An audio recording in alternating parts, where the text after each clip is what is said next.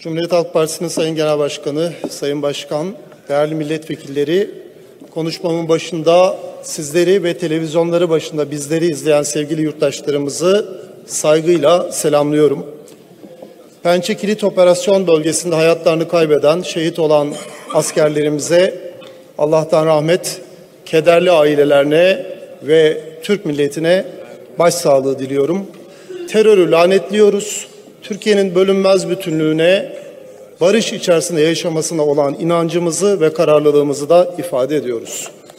Ve elbette bunun yanında Kurtuluş Savaşı kahramanı, Lozan'ın mimarı, Türkiye'yi İkinci Dünya Savaşı'na sokmayan büyük siyasetçi, ikinci Genel Başkanımız ve ikinci Cumhurbaşkanımız İsmet İnönü'yü de saygıyla ve rahmetle anıyorum. Evet, 2024 yılı bütçesini ve 2022 yılı kesin hesabını konuşacağız. Sevgili arkadaşlar, bütçe sırası içerisinde konuşmam kapsamında yaptığım konuşmada kullandığım tüm veriler kamunun verileri olacaktır. Kamunun verisinden ayrılacaksam nedenini ve kaynağını göstereceğim. Dolayısıyla bu konuşma bilimsel ölçütler içerisinde ve denetlemeye açık bir konuşma olacaktır. Evet, 2023 yılının Aralık ayının son haftası içerisinde AKP'nin 22. bütçesini konuşuyoruz. Atatürk bu ülkeyi 15 yıl süreyle yönetti. O halde başlangıçta belirtelim ki bu 22 yıl yapamadığınız şeyler için mazeret üretemeyeceğiniz, bir muhalefet partisi gibi konuşamayacağınız, gelecek zaman cümleleri kuramayacağınız büyük bir süreyi ifade ediyor. Başka bir de işte biz biliyoruz ki bugüne kadar ne yaptıysanız bundan sonra da aynısını yapacaksınız. Bu bağlamda AKP dönemine ilişkin sağlıklı bir muhasebe yapma olanağımız ve sorumluluğumuz var. Bütçe görüşmelerinin başladığı 11 Aralık 2023 gününden bu yana sevgili Cevdet Yılmaz'ı saatler boyunca uzun uzun dinledik. Şimdi söylenilenleri açık ve analitik bir şekilde karşılama, gerçekleri ortaya koyma zamanı. Başlayalım. Evet, sık sık büyüme rakamlarından bahsediyorsunuz. Ekonomik analize fırsat vermeyen bir yalnızlık içinde anlatıp duruyorsunuz. Size göre artan jeopolitik risklere, dünyada gelişen iktisadi krizlere, darbe girişiminin hala süren etkilerine rağmen AKP bir büyüme efsanesi yaratmış. Bakalım veriler bunu teyit ediyor mu? Türkiye zincirlenmiş hacim endeksine göre 1923-2023 döneminde yüzde 5.4 büyümüş ortalama. Dönemsel bazda en yüksek büyük büyüme oranı 1923-1929 arasında ve yüzde 7.3 olarak gerçekleşmiş. Daha sonra düşünelim 1929'daki büyük ekonomik buhran, İkinci Dünya Savaşı, petrol krizi, koalisyonlar, askeri darbeler, kapitalizmin birikim krizleri, bütün bunların hepsini toplayın. Cumhuriyet dönemi boyunca yüzde beşin üzerinde bir büyüme temposu ortaya koyabilen bir ekonomiden söz ediyoruz. Peki siz ne yapmışsınız? 2003-2008 döneminde yüzde 6.21 büyümüşsünüz. 2009-2023 dönemi büyümeniz Cumhuriyet dönemi toplam büyümesinin gerisinde yüzde 5.15. Demek ki ortada Türkiye'nin tarihsel büyüme oranını yakalayabilen bir büyüme temponuz yok. Övünülebilecek bir şey yok. Peki ilave edelim. Acaba bu büyüme bir kalkınma çağırabiliyor mu? Büyümenin kalkınmaya dönüşüp dönüşemediğini iki rakamdan bakarız. Bir, acaba kişi başına gelir nasıl çerçevelenmiş? Yetmez. Bölüşüm ilişkilerine odaklanmanız lazım. O halde Gini katsayısına bakmamız lazım. Türkiye'nin 2008 yılı kişi başına gayri safi yurt içi hasılası 11.018 dolar. 2022 için bu rakam 10.659 dolar olarak gerçekleşmiş. 2023'te de 12.415 dolar olacak. Demek ki kişi başına gelir de siz en azından 15 yıldır yerinizde sayıyorsunuz.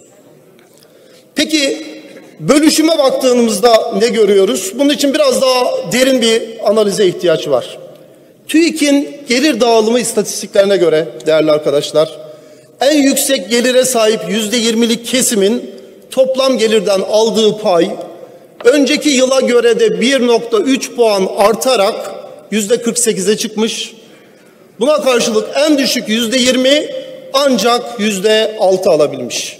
Başka bir deyişle iktidarınız ve yandaşlarınız hızla zenginleşirken bal tutan parmağını yalarken vatandaş avucunu yalamaya devam etmiş. Diyoruz ya hep söylüyorsunuz yaparsa AKP yapar. Peki yoksulluğun ve işsizliğin birlikte ölçüldüğü 157 ülkenin yer aldığı sefalet endeksinde yeriniz ne?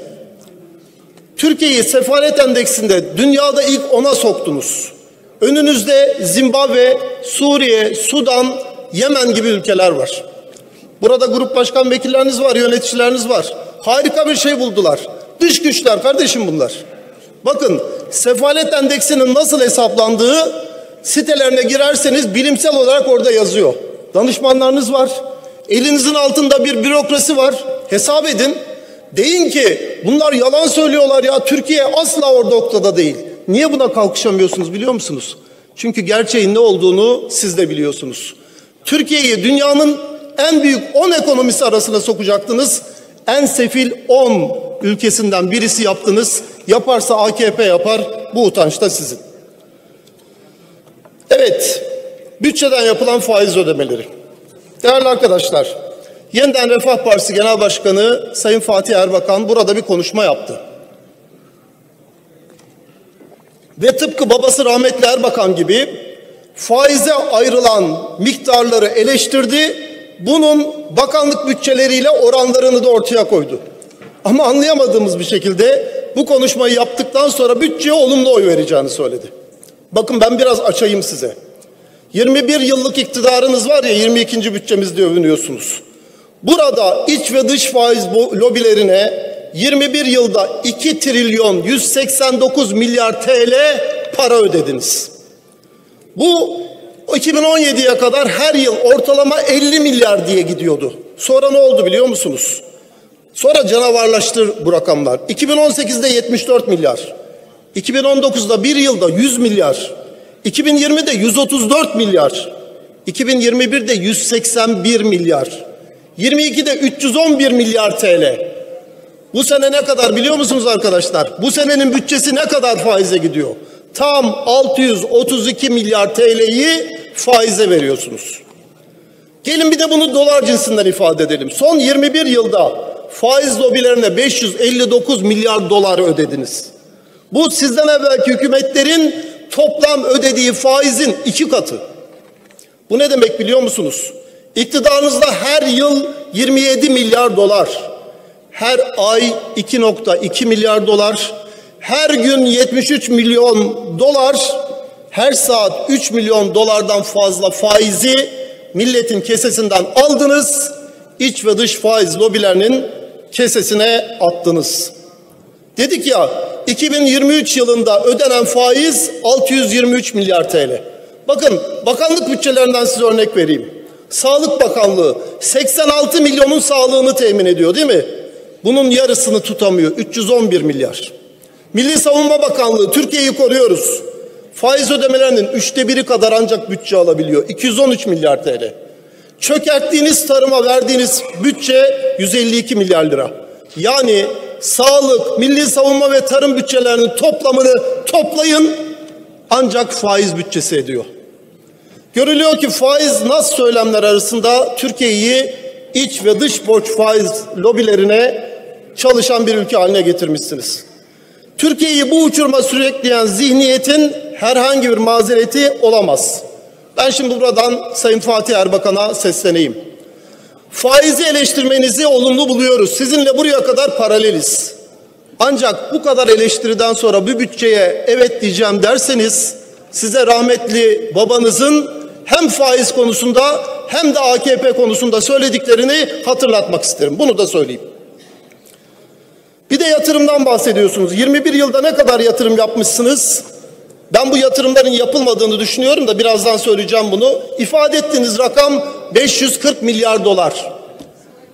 Faize ne kadar para ödemiştiniz? 559 milyar dolar. Demek ki siz 21 yılda yatırımdan çok daha yüksek parayı faize vermişsiniz. Peki bir de bütçe gelirlerine bakalım. Arkadaşlar siz 21 yılda toplam 13,5 trilyon TL vergi topladınız. Bunun ortalama dolar kuru üzerinden hesapladığınızda dolar cinsinden ifadesi 3 trilyon dolardır. Bunun üzerine 64 milyar dolar özelleştirmeyi, 500 milyar dolar da kullandığınız borcu eklediğinizde ne görüyorsunuz? 3,5 trilyon dolar gelir kullanmış AKP. Peki bunun ne kadarını yatırıma çevirdiniz bir daha söyleyelim. 540 milyar doları. Yani gelirinin yalnızca yedide birini yatırıma çevirebilen bir AKP'den bahsediyoruz. Dikkat edin bu kaynağın tamamı yatırıma dönüştü demiyorum. Çünkü kamu ihale kanununu kaç kere değiştirdiğinizi siz de biliyorsunuz biz de biliyoruz. Bu kamu ihalelerinden elde ettiğiniz rantla siyaseti nasıl finanse ettiğinizi, medyayı nasıl dizayn ettiğinizi artık sağır sultanlar duydu. Elbette 22 yılda kitabına uydurma konusunda da epey mesafe kaydettiniz. Bakın ben size bir kitabına uydurma öyküsü anlatayım. Şurada Sıhhiye'de birkaç kilometre ötede Ankara Adalet Sarayı var. Yes yeni bir bina, sapasağlam bir bina. Adalet Bakanlığı'nın toplam bütçesi de 88 milyar TL. Siz o binayı arkasındaki uygun alana genişlemeyi planlamak yerine yıkmak ve yeniden yapmayı hedefliyorsunuz. Çünkü yıktığınızın yerine rant üreteceksiniz, yeniden yaparken de başka bir rant üreteceksiniz. Açık ihale mi yaptınız burayı? Yo, açık ihale yapmadınız. Ne yaptınız? Pazarlık usulü. Üç tane firma kıyasıya çalışmış, çarpışmış, kıyasıya rekabet etmiş. Kimmiş bunlar? Birisi Kalyon, birisi Limak, öbürü de Rönesans. Tanıdık geldi mi arkadaşlar? Bu üç firma aralarında kıyasıya çarpışmışlar ve Rönesans 24 milyar liraya burayı almış. Yani bir tek adalet binası Adalet Bakanlığı bütçesinin yüzde 27'sini yutmuş. Ben şimdi söylüyorum. Bu üç firmadan başka buranın ihalesine girecek ve o binayı yapabilecek firma yok mu Türkiye'de? Acaba bunu pazarlık usulüyle değil de açık ihaleyle yapsaydınız kamunun ne kadar kaynağını esirgemiş olurdunuz? Yapmazsa AKP yapmaz. Her zaman yaparsa yap, yap, yapar demiyoruz. Bazen yapmazsa da yalnızca AKP yapmaz diyoruz. Çünkü siz bu kaynakları siyasetin finansmanına kullanıyorsunuz. Gelelim dış ticaret açığı. Çok büyük ihracat kahramanlıkları, efsaneleri dinledik. Deşifre etmeye devam edelim. Arkadaşlar madde madde söyleyeceğim çok açık. 21 yılda dış ticaret fazlası verdiğiniz bir tek yıl yoktur. 21 yılda verdiğiniz dış ticaret açığının toplamı 1.3 trilyon dolardır. İhracatın ithalatı karşılama oranı döneminizin başında yüzde 68 iken bugün yüzde 70'tir. Peki siz bunu nasıl bir ortamda sağladınız biliyor musunuz? Türk lirasının değer kaybında dünya rekoru kırdığı bir dönemde yaptınız. Sadece Arjantin pesosuyla yarışabiliyor bu memleket. Onun dışındaki bütün para birimlerini çoktan geride bırakmış. Savaş içerisinde olan Rusya'nın para birimine karşı Türk lirası yüzde 55, Ukrayna'nın para birimine karşı yüzde 4 değer kaybetmiş. Peki devalüasyon ne yapar? İhracatınızı ucuzlatır ve rekabet gücünüzü artırır, ithalatınızı pahalılaştırır. İşte siz böylesine büyük bir devalüasyon ortamında yani 3 yılda doları 8 liradan 30 liraya çıkartabildiğiniz bir dönemde dış ticaret açığını yılda 100 milyar dolara çıkartabilmiş bir hükümetsiniz. Ne kadar övünseniz azdır. Bunu da ancak yaparsa AKP yapar. Peki özelliği ne üretiminizin? Çünkü ihracatınız ithalatı çağırmak zorunda. Türkiye'nin aramalı ve yatırım malı sektörlerini mahvettiğiniz için her birim üretim ve ihracat için mutlaka ithalat yapma zorunluluğunuz var. Dolayısıyla bu yöntemle üstelik de yüksek teknolojiyle ulaşmamış bir üretim biçimiyle dış ticaret açığını kapatabilmeniz mümkün değil. Peki bu üretim ya da ihracat acaba istihdam çağırıyor mu? Arkadaşlar Türkiye'nin geniş tanımlı işsizlik oranlarına göre memleketin işsizliği yüzde yirmi biri bulmuş. işsiz vatandaşlarımızın sayısı 8 milyon 143 bin. Şimdi arkadaşlarımız söylediler. Kısaca özetleyelim. İlk 10 ekonomi arasına girecektiniz 2023'te. İlk 20'de zor tutunuyorsunuz. 2 trilyon dolar gayri safi yurt içi hasıla hedeflemiştiniz. Yarısını bulamadınız. Kişi başına 25 bin dolar gelir vaat ediyordunuz. Yarısı gene gerçekleşmedi. 500 milyar dolar ihracatın bir kere daha söyleyelim yarısı olmadı. İşsizliği yüzde beşe indirecektiniz. Dar tanımlı yüzde on, geniş tanımlı yüzde yirmi. Demek ki hepsinde iki katı bir bozulma var. Enflasyon hariç. Enflasyonu yüzde beşe indirecektiniz. Şimdi enflasyon yüzde altmış beş. Valla bir tane gerçekleşme var. Onu da bütçe görüşmeleri sırasında İzmir Milletvekilimiz Sevda arkadaşımız söyledi. Bu tabloda tek gerçekleşme var. Memleket 2023'e girdi. Ama böyle girdi işte.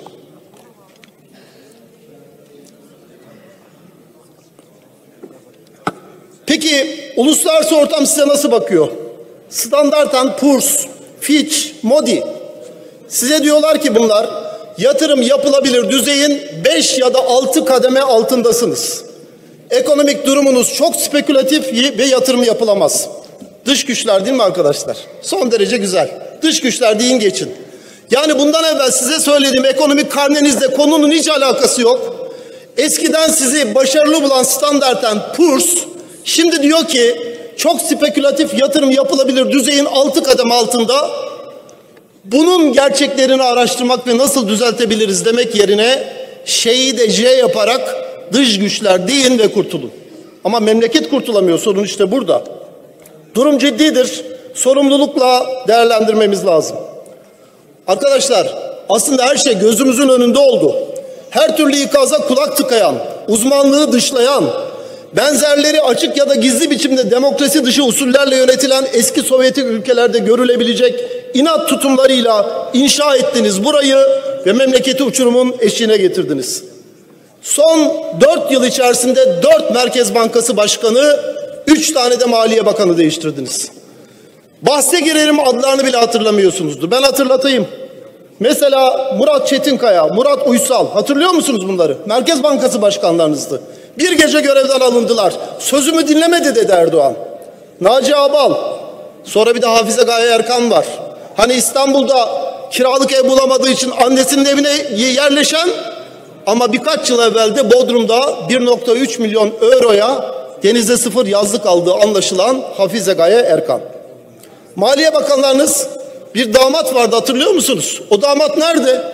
Çoktandır görünmüyor. Nerede o damat? Ne diyordu? Kuru baskılamak için arkadan 128 milyar doları sattı. Yandaşlarını zengin etti. Kuru tutamayınca dolardan size ne maaşınızı dolarla mı alıyorsunuz dedi. Yarattığı felaketin altında da at izi it izine karıştı diyerek istifa mı etti yoksa affını mı istedi çok belli olmadı. 10 Kasım 2020'den beri yok. O yok, o keyfine bakıyordur bir yerlerde ama yarattığı tablo her gün vatandaşın mutfağını, cebini yakmaya devam ediyor. Arkasından kimler geldi? Lütfü Elvan geldi. Onu da bir grup toplantısında faizin nasıl kötü bir şey ve nasıl indirilmesi gerektiği konusunda Erdoğan'ın iktisat bilimine aykırı konuşmalarını alkışlamadığı için görevden aldınız ve yerine arkasından Mehmet Şimşek geldi. Şimdi Mehmet Şimşek şunu söyledi. İrrasyonel politikalardan vazgeçeceğiz dedi. Arkadaşlar hukukta mefhumu muhalifi denilen bir şey vardır. Yani tersinden okuma. Mehmet Şimşek size diyor ki hepinize benden evvel irrasyonel politikalar izlediniz diyor. Erdoğan'a söylüyor en fazla. Maliye Bakanlarına söylüyor. Biriniz çıkıp ya sen ne diyorsun diyemediniz. Sebep ne biliyor musunuz? Çünkü sükut ikrardan geliyor. Bunu hepimiz biliyoruz. Nurettin Nebati nerelerde bilmiyorum. İzliyor mu acaba bütçe konuşmalarını? Yaptığı uygulamalar çerçevesinde memleketi bir kuru korumalı mevduat hesabı bataklığına sürükledi. Rakam vereceğim arkadaşlar rakam. Bakın başka bir ülkede bunu söylediğimiz zaman yer yerinden oynar. Kur korumalı mevduatı 600 milyar TL gömdünüz. 600 milyar TL. Peki 21 Şubat tarihinde 11 ili yıkan 1 milyona yakın bağımsız bölümü yerle bir eden depremin konu tasarı ne kadar? Söylüyorum ya sizin verilerinizi kullanıyorum. Hazine ve Maliye Bakanlığı diyor ki 1.6 trilyon TL. Yani siz deprem zararının yüzde kırkını yalnızca kur korumalı mevduatla verdiniz. Birincisi doğal afet, ikincisi AKP. Arada böyle bir fark var işte. Evet, yaparsa AKP yapar diyoruz. Ekonomide Türkiye modeli diye sattığınız hayal dış ticaret açığını ve işsizliği füze gibi fırlattı. Türkiye tarihinde ilk kez bu kadar derin bir yoksulluk gerçeğiyle karşı karşıya kaldı. Gelir dağılımı öylesine arttı ki birileri lüks konutlardan onlarca satın alırken yoksullardan bahsetmiyoruz. Orta sınıf beyaz yakalılar artık ev kiralarını ödeyemez hale geldiler. İnsanlar arabalarını ikinci el arabalarını yeni arabalarla değiştiremiyorlar. Gençler yeni araba alamıyorlar. Bakın arkadaşlar eski Türkiye'de tanımladığınız bir dönem var. Orada herkes için eşit olduğundan kuşku duymadığımız eleştiri, e, bazı işler vardı. Her şeyi çok güzel değildi ama eşitlik konusunda kuşku duymadığımız işler vardı. İzninizle anlaşılır olabilmesi bakımından kendi yaşamımdan bazı örneklerle burayı açacağım. ÖSYM sınavına girdik. Hepiniz girmişsinizdir. Arkadaşlar memlekette ÖSYM'nin sınavının adil olması, eşit olması, fırsat eşitliğini bir tarafa bırakırsak konusunda bir tereddüt var mıydı? Çalışan geçebilirdi. Ne oldu sonra? Sonra baktık ki ÖSYM'nin de her kurumunda soruları şakır şakır çalınmış. Sakın başkalarına suç atmaya çalışmayın. Çalanlar olsa olsa koalisyon ortaklarınızdır. Dolayısıyla dönem sizin döneminizdir. Bir kere ÖSYM'yi güvenilmez bir kurum haline getirdiniz. Sonra ya zenginlerin çocukları Türkiye'de buna rağmen üniversite kazanamıyorlar. Gidiyorlar yurt dışına. İşlerinde bazı milletvekillerinizin de yurt dışında üniversiteleri var. O üniversitelerde bir yıl okuyorlar. Sonra bu tarafa tak diye yatay geçişte gelip garibanın çocuğunun önüne geçip üniversiteyi bitiriveriyorlar. İşte bu kurduğunuz düzendir, dönemdir. Peki ben ben kendi hayatımdan örnek vereceğim dedim ya. Ben bir memur babanın üç çocuğundan bir tanesiyim. Girdik hakkımızda üniversite sınavını kazandık. Üçümüz aynı anda bir memur maaş, babanın maaşıyla üniversite okuduk. Memlekette yurtlar vardı. Sizin gibi yurt yetiştirmeme sorunu yoktu. Hepimiz yurtta kaldık. Memleket burs alıyordu. Bursumuzu aldık. Hepimiz burslarla beraber üniversitemizi bitirdik. Geldim. Dört ay Eti Mesut'ta Asteğmenlik eğitimi aldım. Sonra kura çektim Şanlıurfa'ya gittim. Bir yılda Urfa'da askerlik yaptım. O sınırda koruyamayacağımız ne kadar yer varsa, bugün laf edilen ne kadar yer varsa oraların tamamında 16 ay askerlik yaptım. Yani siz ve mahtumlarınız gibi bedelli askerlikler yapmadık. Instagram fotoğrafları çektirmedik. 16 ay bu memleketi koruduk. Atatürk milliyetçiliğini Cumhuriyet Halk Partisi'nin ve Cumhuriyet Halk Partililerinin kimse sorgulamaya kalkmasın. Haddine değildir. Geldik askerlikten. Dediler ki Toprak Mahsul Örgütü sınav açmış. Gittik. Sınava girdik kazandık. Vallahi kazandığımıza göre demek ki torpil yoktu arkadaşlar. Çalıştık çalışmaya başladık. Bir yıl içerisinde 10 yaşında bir araba aldım. Bunu yapabiliyorduk. 4-5 yıl içerisinde de krediyle bir ev alabildim. Ben gariban bir memur babanın çocuğuyum. Ve bir mühendis, genç bir mühendis maaşıyla bunları yapabildim. Şimdi soruyorum. Bunları bu çocuklar yapabiliyor mu şu anda? Atanabilen var mı? İş bulabilen var mı? İş bulabiliyorsa bir yıl içinde araba alabilen, beş yıl içerisinde ev alabilen var mı? Türkiye'yi bu hale getirdiniz. Türkiye'yi öyle bir finans kapital merkezi haline getirdiniz ki insanlar artık en temel ihtiyaçlarının lüks olduğu bir yoksulluk içerisinde yaşamak zorunda kalıyorlar. Ha, şimdi kendi çocuklarınızı düşünüyorsunuzdur ve hiç de öyle değil diye bakıyorsunuzdur. Arkadaşlar milletin çocuğu bizimkiler sizinkiler gibi zeki değil ki. Sizinkiler bitirir bitirmez okulu şirket kuruyorlar, gemi satın alıyorlar, zengin oluyorlar. Ama bizimkiler öyle değil. Bizimkiler hayatları boyunca çalışıyorlar. Arada böyle bir fark var. İşte belki eski olanla yeni olanın da farkı böyle bir şeydir. Siz bir şey yapmıyor musunuz? Yapıyorsunuz canım. Gençliğini ve geleceğini çaldığınız çocuklara geçen hafta, geçen ay içerisinde kanun çıkarttınız. 150 bin TL evlilik yardımı yapıyorsunuz.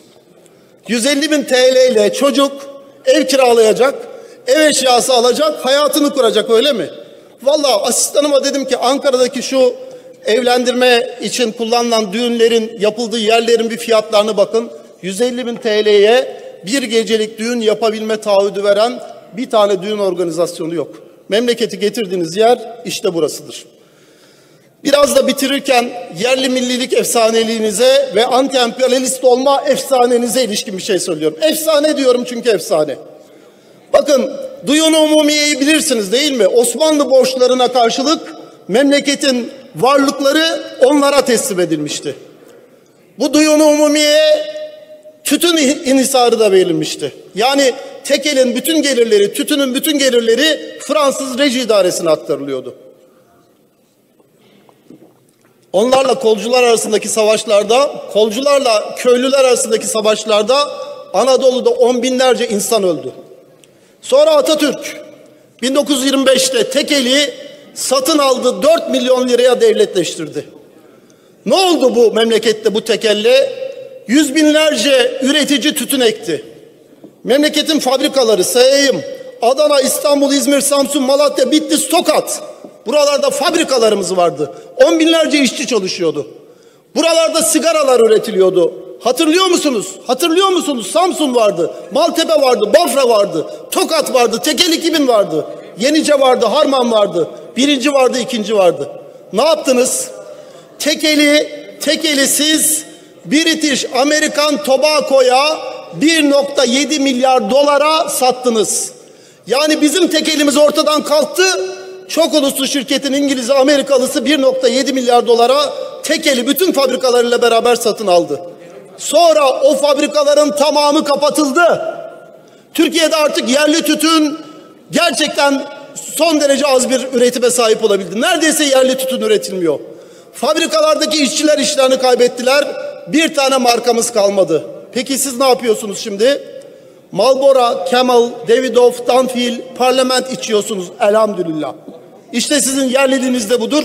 İşte sizin milliliğiniz de budur. Peki tekeli kaça sattınız? Kaça? 1.7 milyar dolara. 2023 yılı 632 milyar TL faiz ödemişsiniz. Onun yüzde sekizine karşılık geliyor. Yani tekeli 2023 yılı faiz parasının 29 günlük değerine peşkeş çekmişsiniz. Şimdi bizim olan tekel İngiliz'in Amerikan'ın. İşte yerliliğiniz ve milliliğiniz bu kadardır. Aynı işi şeker fabrikalarına yapmak istiyorsunuz. Pancar çiftçisi pancar eker, onu nakliyeci fabrikaya getirir. Türkiye'nin 20, 25 şeker fabrikasında pancar şeker üretiriz. Oradan da tüketici hem sağlıklı hem de ucuz şekere ulaşır. Siz Kargil'in nişasta bazlı şekerine alan açmak için Türkiye'nin şeker fabrikalarını onların hazırladığı raporlarla şakır şakır satıyorsunuz. Millisiniz ve yerlisiniz öyle mi? Diyorum ya bunlara sizden başka kimse inanmıyor. Bunların hepsi efsane. Peki tarımı ne yaptınız? Bakın çok uzatmaya gerek yok. Yılda 5-6 milyar dolar açık veriyorsunuz.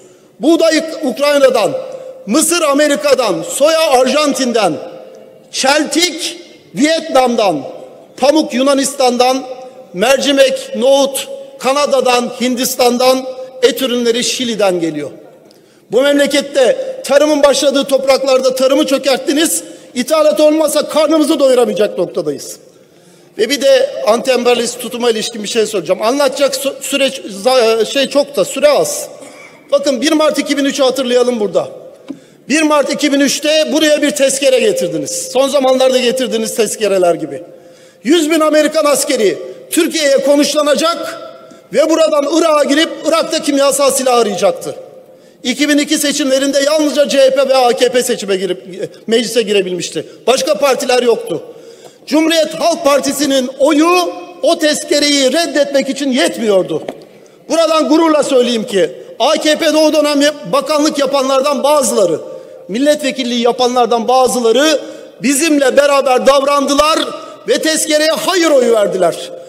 Irak'ta katledilen bir milyon Müslümanın kanına elimiz değmedi. O tezkereye hayır diyen bakanlarınızı, milletvekillerinizi daha sonra milletvekili bakan yapmadınız.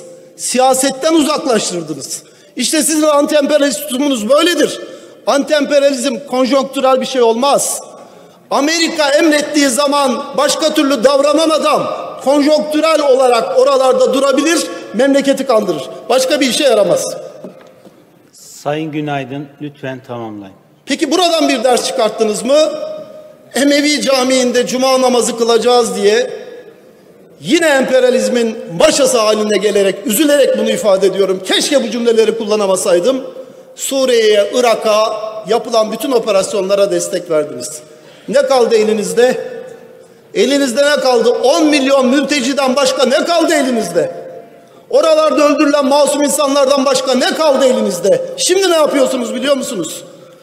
O 10 milyon mültecinin para karşılığı bakıcılığını yapıyorsunuz. Bu memleketi gerçekten bu hale düşürdünüz. Şimdi bu can bu bedende, bu fakir bu görevde oldukça diye başlayan nutuklarınız hep Türkiye'ye pahalıya patladı. 30 askerimizi şehit edenlerin kapısında beklediniz. Rahmetli Ecevit'in Clinton karşısında duruşuyla alay etmeye kalkarken Ecevit Erbakan ikilisinin Kıbrıs'ta yazdığı destanı görmezden geldiniz. Sayın Günaydın lütfen son sözlerinizi alalım. Afyon'da afyon tarlalarına yazılan efsaneyi unuttunuz. Sonra size Beyaz Saray'dan beyzbol sopası gösterdiler. Gıkınızı çıkartamadınız. Sonra size zehir zemberek mektuplar yazdınız. Cevap bile veremediniz. Hasan Bitmez arkadaşımızı saygıyla ve rahmetle anıyorum. Hasan Bitmez konuşmasını Akif'ten bir dizeyle bitirmişti. Ben de aynısını bitireyim. Enseden aslan kesilmek, cepheden yaltak kedi, Müslümanlık sizden evvel böyle zillet görmedi. Teşekkür ederim. Sayın Günaydın teşekkür ediyorum.